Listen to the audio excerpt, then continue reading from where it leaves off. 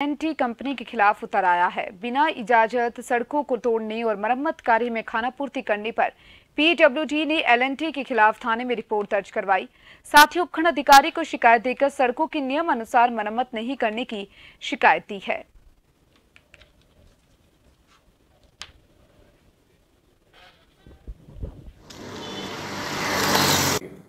ये अभी जो सीवरेज का कार्य चल रहा है, वो अपने एलएनटी कंपनी कर रही है।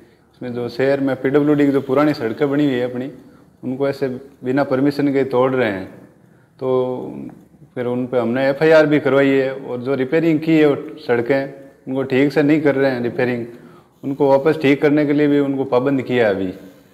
सभी उच्च अधिकारियों को लेटर लिखा है सभी को और कलेक्टर साहब को भी अवगत कराया है, ताकि इन सारी सड़कों